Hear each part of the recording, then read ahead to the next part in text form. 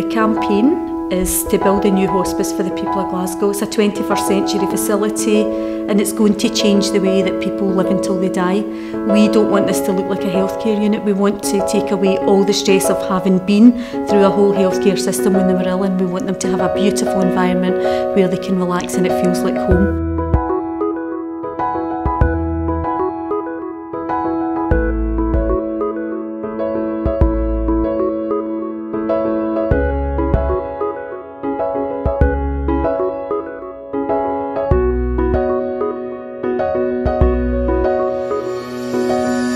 So I suppose what I'm asking now is that the people of Glasgow stay on this journey with us. You've been with us the whole way there. Please stay with us until you get we go over this finishing line because this is for your individuals, your families, your communities and it's Glasgow's hospice so please stay with us to finish this.